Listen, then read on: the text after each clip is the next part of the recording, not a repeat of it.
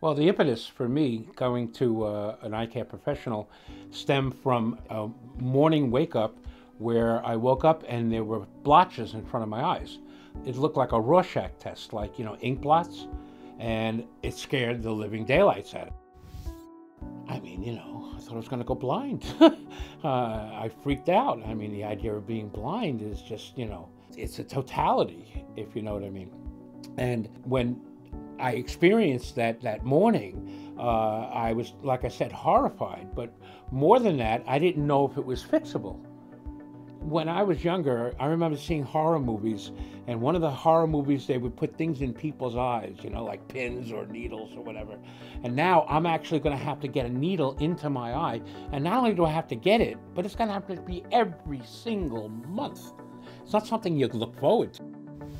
I like to do things with my life. And what I don't put on my list is, gee, I really want to go to the doctor. I would have to come to the eye doctor every two weeks or four weeks or so, uh, depending on, on how bad the condition was at the time. You know, they do the scans and they see what happens and they tell you what, when they want you to come back.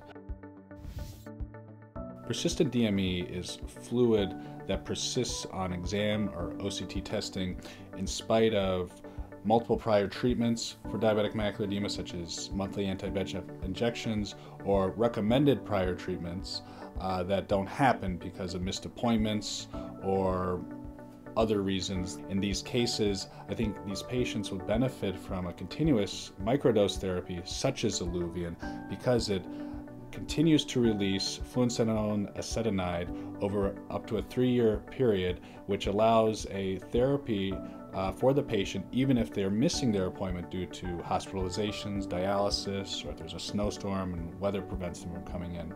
These are the type of patients that are very common among my DME population that would certainly benefit from Iluvien. When Dr. Kiernan told me about the possibility of this injection and what it does, in a sense like a seed that's planted into your eye that releases the drug over time, something that I would run to and that's what I did. I'm an avid reader, that would be cut out. I'm an avid fisherman, that might be cut out. Certainly can't drive anywhere. Uh, the ability to take care of myself on a regular basis, to go up and down stairs, to do laundry, to cook a meal, would be not only greatly diminished, probably eliminated. That is a lifestyle change that I don't think anyone can grasp. Just a horrible idea, and I, I would do anything I could to avoid it. Since then, with the Iluvien, I've had to go, you know, every few months, every two, three months, I go in, get a checkup, see what the scan says. If the edema is still in, in control, uh, I go on my merry way. The difference that the the Iluvien has made in my life is that it's been a year and a half since I've had to have an injection. I'm glad the Iluvien is given to me.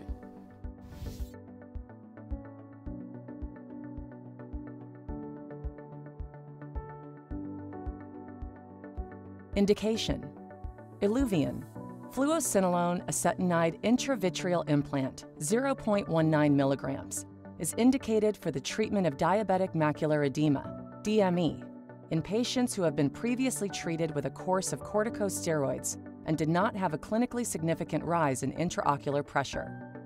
Contraindications Iluvien is contraindicated in patients with active or suspected ocular or periocular infections, including most viral diseases of the cornea and conjunctiva, including active epithelial herpes simplex keratitis, dendritic keratitis, vaccinia, varicella, mycobacterial infections, and fungal diseases.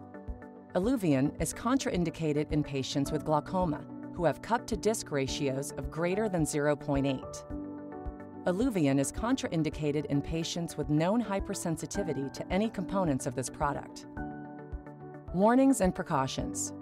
Intravitreal injections, including those with Iluvien, have been associated with endophthalmitis, eye inflammation, increased intraocular pressure, and retinal detachments. Patients should be monitored following the intravitreal injection. Use of corticosteroids, including Iluvien, may produce posterior subcapsular cataracts, increased intraocular pressure, and glaucoma. Use of corticosteroids may enhance the establishment of secondary ocular infections, due to bacteria, fungi, or viruses. Corticosteroids are not recommended to be used in patients with a history of ocular herpes simplex because of the potential for reactivation of the viral infection. Patients in whom the posterior capsule of the lens is absent or has a tear are at risk of implant migration into the anterior chamber. Adverse reactions. In controlled studies, the most common adverse reactions reported were cataract development, Iluvien 82%, sham 50%, an intraocular pressure elevation of greater than or equal to 10 millimeters of mercury, Iluvien 34%, sham 10%.